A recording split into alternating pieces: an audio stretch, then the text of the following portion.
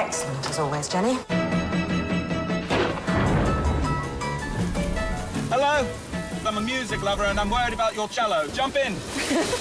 If I get to university, I'm going to read what I want and listen to what I want. Which university? Oxford.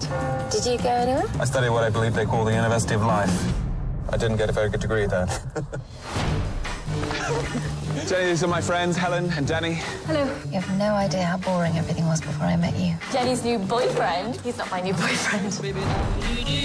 So the only sound I want to hear coming through the ceiling is the sound of sweat dripping onto textbooks. 52%. Not good enough for Oxford candidates. Nobody does anything worth doing without a degree. Nobody does anything worth doing with a degree. Someone told me that in about 50 years, no one will speak Latin, probably. Not even Latin people. We're not clever like you, so we have to be clever in other ways because if we weren't, there would be no fun. All that poetry had all those songs about something that lasts no time at all. Yeah.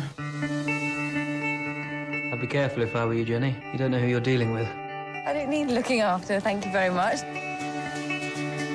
My choice is to do something hard and boring or to go to Paris and have fun. Suppose you think I'm a ruined woman. You're not a woman.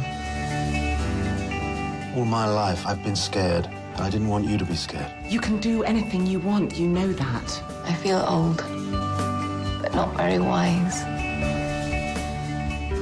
Now, that shows you're a rebel. They don't want that at Oxford.